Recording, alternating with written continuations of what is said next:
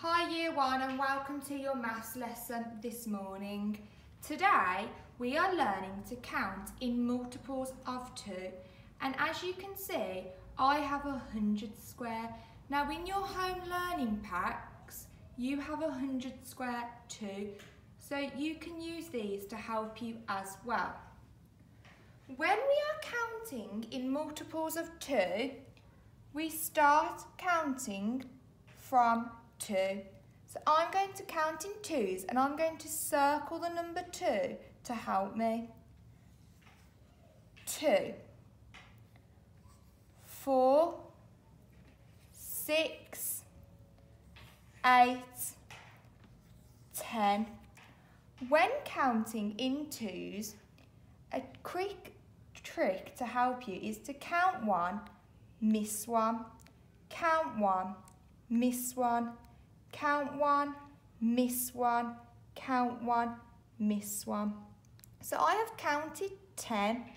I'm now going to miss one and I'm going to count 12, 14, 16, 18, 20, 22, 24, 26, 28, 30, 32, 34, 36, 38, 40, 42, 44, 46, 48, 50, 52, 54, 56, 58, 60, 62, 64, 66, 68, 70, 72, 74, 76,